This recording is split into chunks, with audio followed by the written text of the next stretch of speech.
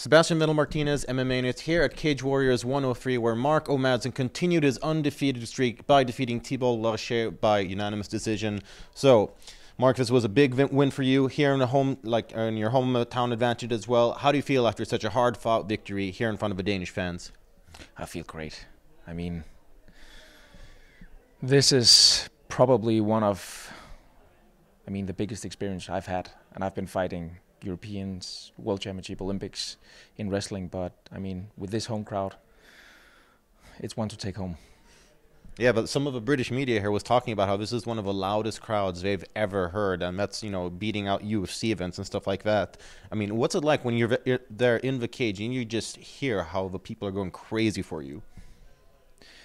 Well, I think this is important to remember. This is the biggest MMA event on Danish soil ever. Yeah. So it's quite a big deal, and and the hype here is it's getting there. So this was a you know an awesome event, and you always get a little extra when you get that kind of crowd cheering on you. So it was a great experience. And talk about the fight. It looked like early on you had him in trouble, but he managed to recover. He, you know, you couldn't really quite put him away. What was it that was missing for, to get the finish?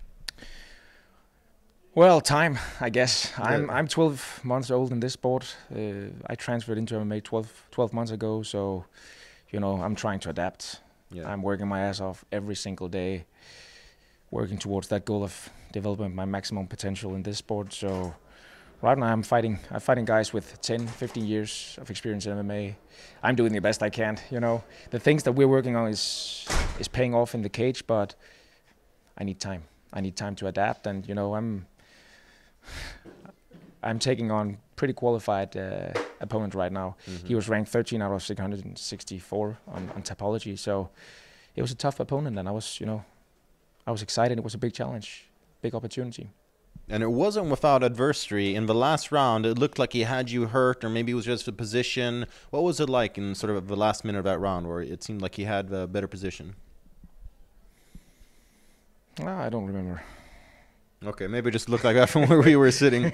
But so this was your seventh straight the victory, and obviously, I'm sure you know the UFC are coming to Copenhagen in October. Is that something that you're eyeing, or do you maybe want to build yourself up a bit first? I would love to take my time, uh, you know, and get qualified. Uh, right now, I'm focusing on building the infrastructure infrastructure in Denmark. Mm -hmm. So I come from a small place in, in Denmark. We don't have the infrastructure infrastructure I need to to develop my my potential. So right now I'm I'm working on creating my own gym, mm-hmm. getting the facilities I need to to develop my potential. So I would like to take you know time to to become a better MMA fighter, develop my craft. Um, but naturally, if if UFC is coming to town, that's a major opportunity and and I'm not sure I can turn something like that down, but but I'd love to become a, a complete MMA fighter. Hmm. And what are your plans until then? I mean, do you plan on competing a couple more times? I mean, you've been staying extremely active so far. Do you want to take some time off, heal up, or time do you want to? What's that, right? I'm here to compete, man. So I'm gonna get home now, take a couple of days with my family, with my two kids. Maybe get my my nose healed up, then I'm back at it, working my ass off, and uh, I'm here to compete. All right, very go. Fighters beware. As soon as his nose heals up, he'll be back in the cage. This was Sebastian Martinez, MMA News here at Cage Warriors 103 in Denmark.